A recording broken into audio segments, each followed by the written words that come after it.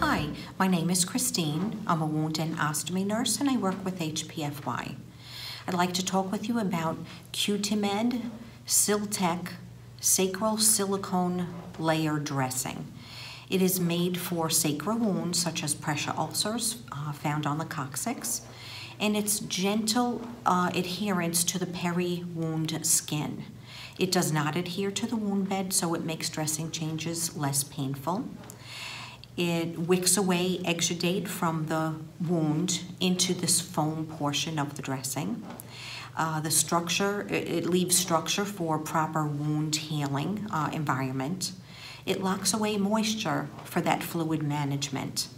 It's made for longer wear time, and you would change this dressing when it's three quarters of the way stained on the outside uh, or the outer surface. And it can also be used for venous ulcers, arterial ulcers, diabetic ulcers, and skin grafts. This product can be found on HPFY.